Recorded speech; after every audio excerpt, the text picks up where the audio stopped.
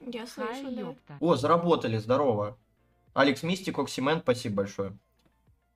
Это моя женщина. Как она может жить с таким уебком, как я? Я сам не понимаю. Посмотрите, какой я черт, блядь, страшный. Отхапал, конечно, бля, золото, пацаны. Что мы смотреть будем, лучше скажи. Даже Марк Гуакамоле выглядит в 30 раз красивее, чем мое ебало. Почему? Почему даже, я сказал, блядь. Между прочим, он красивый.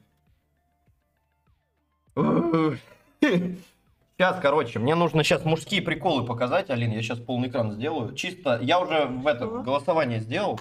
Что?